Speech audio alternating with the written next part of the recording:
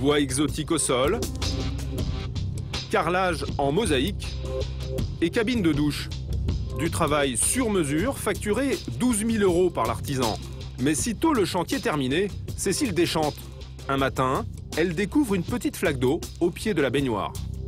Bah, les joints de la baignoire, dès qu'on rentre dans la baignoire, la baignoire s'affaisse et donc les joints cassent. Et ce n'est pas tout. La mère de famille s'aperçoit que la douche, elle aussi, montre des signes de faiblesse et fuit le long du mur. On s'est rendu compte que le placard qui jouxte cette salle de bain était entièrement euh, couvert de moisis. Une salle de bain refaite à neuf qui fuit de toutes parts. Mais Cécile n'est pas au bout de ses surprises. Quelques semaines plus tard, c'est au rez-de-chaussée qu'elle prend conscience de l'ampleur de la catastrophe. Voilà, là c'est au-dessus de la baignoire, là c'est au-dessus de, la douche et là c'est au-dessus des toilettes. Voilà. À, cause de l'humidité, euh, un champignon s'est mis dans les poutres et que ce champignon est ensuite euh, allé euh, contaminer non seulement les endroits qui sont proches de la fuite, mais également le salon.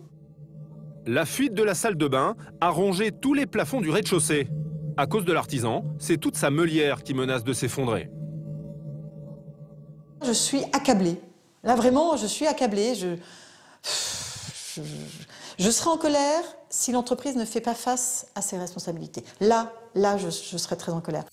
Alors, pour obtenir réparation, ce matin-là, Cécile a fait appel à l'expert de son assurance habitation. C'est lui qui va estimer le montant des dégâts et la conseiller sur la démarche à suivre. Bonjour, madame, vous allez bien Très bien, je vous attendais. Merci. À peine arrivé, Grégory Blanquet se fait conduire à l'étage pour expertiser le problème et il ne va pas y aller par quatre chemins.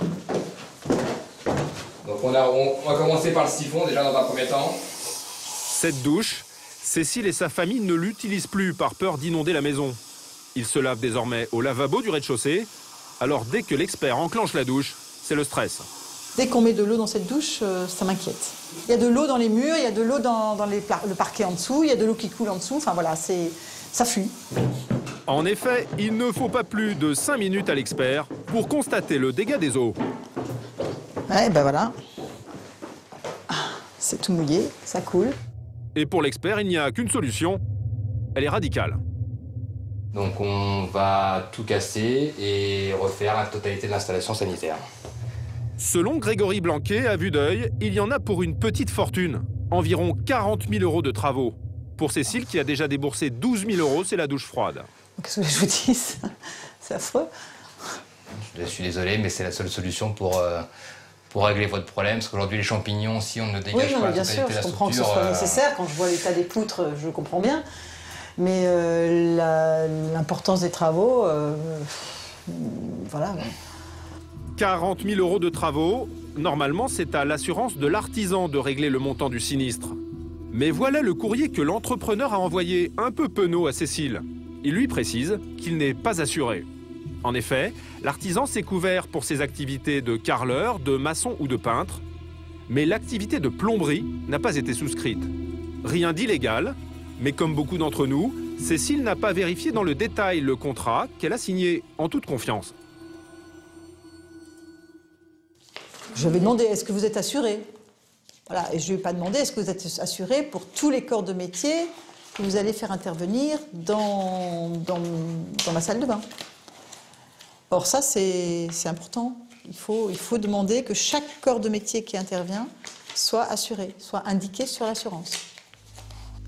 Résultat, les 40 000 euros de réparation ne seront pas pris en charge. Son seul recours Attaquer l'artisan en justice.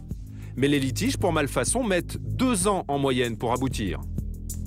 Voilà donc comment de petits travaux de rénovation peuvent se transformer en cauchemar. Une galère que vivent des millions d'entre nous. Chaque année, 10 millions de familles se lancent dans la grande aventure des travaux. De la petite rénovation de salle de bain à la construction de la maison de ses rêves, le grand projet peut vite virer au cauchemar. Il manque l'isolation des combles, le carrelage n'est pas fait, on n'a pas de courant, on n'a pas, pas d'eau chaude, les murs sont pas terminés, elle est inhabitable. Ça m'horripile, c'est désarmant, désarmant. Des particuliers victimes d'artisans malhonnêtes ou de promoteurs indélicats.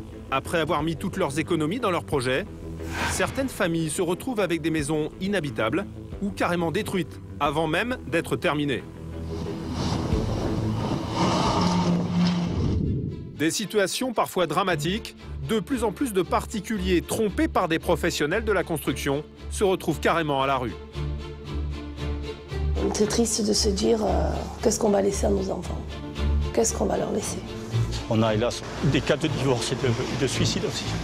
Parce qu'ils sont ruinés, parce que plus rien ne va, parce qu'ils vivent dans une caravane.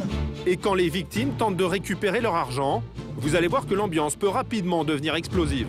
C'est 25 000 euros, c'est l'argent de ma famille.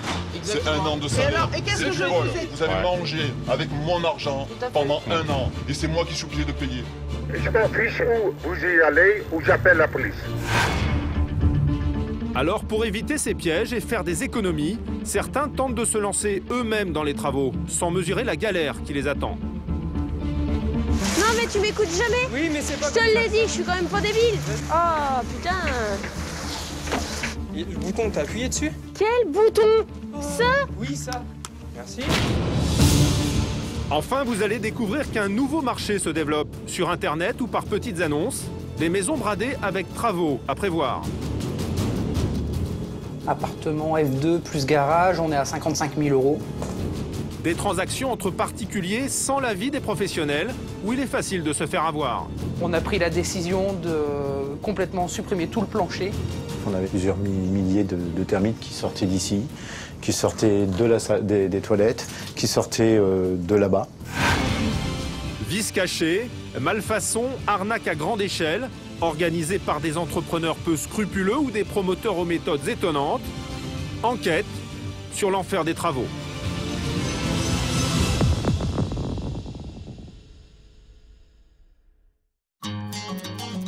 S'il y a bien une passion que partagent beaucoup de Français, c'est celle du bricolage. Des petits travaux à domicile, mais parfois aussi des projets plus ambitieux comme la rénovation d'un pavillon ou d'une maison de campagne.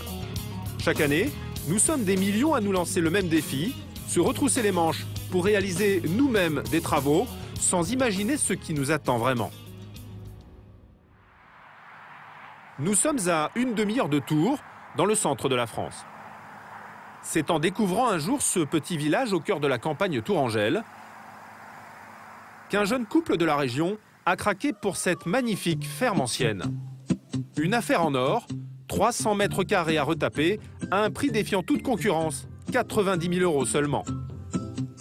Une maison clé en main dans les environs aurait coûté trois fois plus cher. En contrepartie, évidemment, il y a pas mal de travaux. Mais pas de quoi effrayer les nouveaux propriétaires. Parce que là, on a un, deux, trois, on a trois murs porteurs. Cette ferme, Julien, peintre en bâtiment, et Valérie, ouvrière en usine, en rêvaient. Alors il y a un an, le jeune couple s'endette sur 25 ans pour l'achat et les travaux. Mais avec 2000 euros de salaire, le budget est serré. Pas question de faire appel à un artisan. Julien et Valérie veulent tout faire eux-mêmes. À commencer par les plans, dessinés minutieusement par leurs soins au stylo, histoire d'économiser les frais d'architecte. Donc euh, la porte d'entrée sera ici, avec le hall, le dressing. Là, ce sera la chambre avec la salle de bain privée, la salle de sport. Mais au bout d'un an, voici la seule salle de sport qu'il fréquente au quotidien.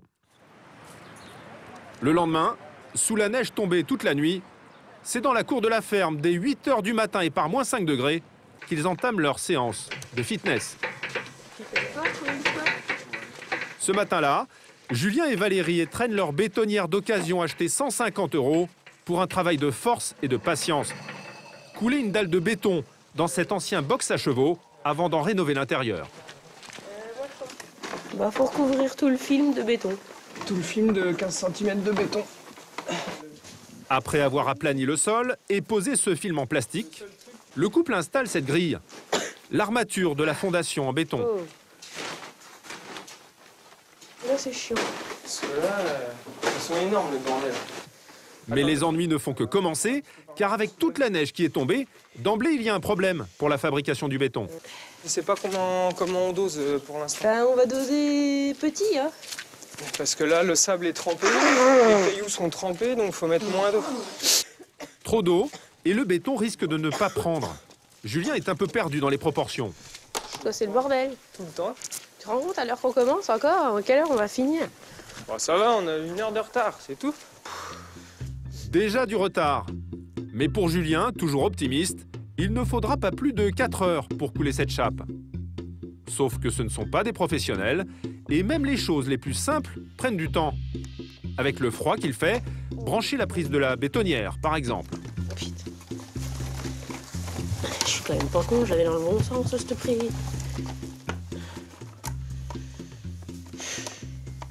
Il faut la cicoter dans tous les sens pour que ça rentre, là, ça m'énerve. Le bouton, t'as appuyé dessus? Quel bouton? Ça? Oui, ça. Merci. Finalement, après 10 minutes, le couple peut enfin commencer à mélanger le ciment, les cailloux et le sable. Ah oui, je me rappelais plus qu'on faisait le sac en entier. Au bout d'un autre quart d'heure, la première brouette est prête.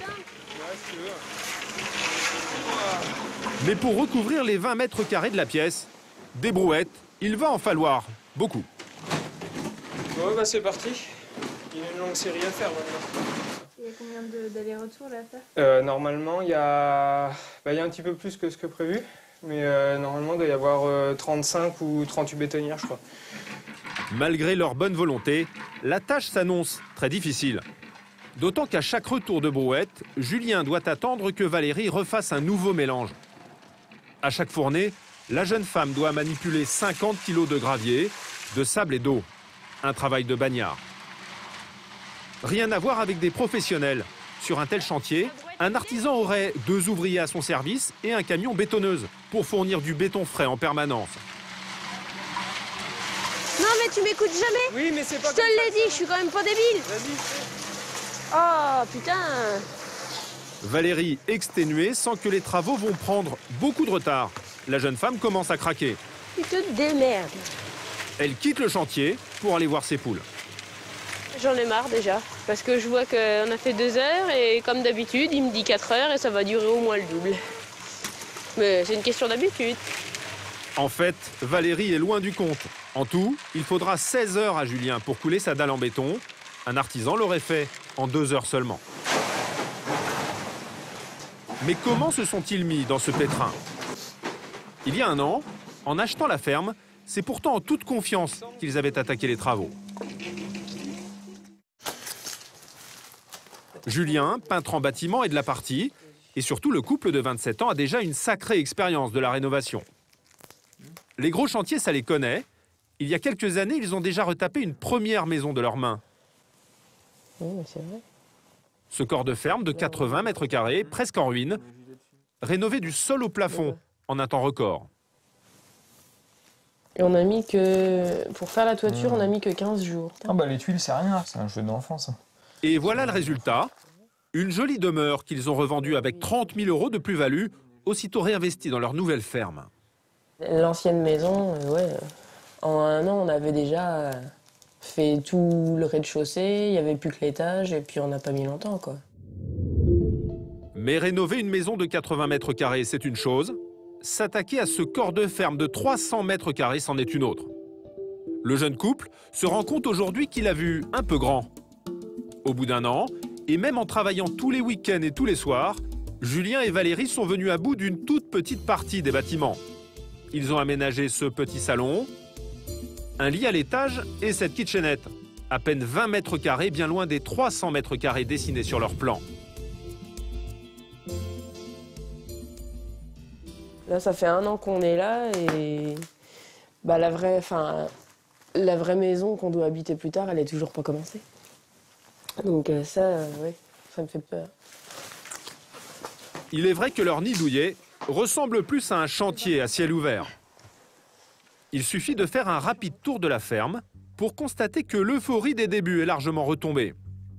Au bout d'un an, les travaux ont pris énormément de retard. Hop là. Donc ça, ouais, ce sera le hall d'entrée où il y aura le- l'escalier en fait pour monter à l'étage. Dans la pièce d'à côté, la future cuisine, Valérie n'est pas prête d'y mitonner des petits plats. Là, normalement, il y a un îlot central qui est là. Tout le tour, ce sera la cuisine, avec au fond une arrière-cuisine. Le problème, c'est qu'en plus d'avoir sous-estimé l'ampleur du chantier, Julien et Valérie ont commis une grosse erreur en achetant la ferme. Faute d'avoir demandé à un professionnel de les accompagner, ils sont passés à côté d'un détail très fâcheux. Dans leur futur salon, encore dans son jus campagnard, le bois de la charpente est complètement pourri. En fait, il faut qu'on fasse. euh, qu'on enlève tout. Il faut qu'on change la poutre. On peut pas se permettre de garder ça, en fait. Bah, je pensais pas qu'il y aurait autant de poutres euh, à changer. Tout ce qui est plafond et tout, ça, je pensais pas. Et la charpente non plus. Et c'est ce qui coûte le plus cher. 20 000 euros de travaux au total, qui s'ajoutent à un budget déjà serré. Une facture qui s'alourdit et des rénovations beaucoup plus compliquées que prévu. Forcément, ce chantier infernal mine leur vie de couple et s'invite au menu de toutes les conversations.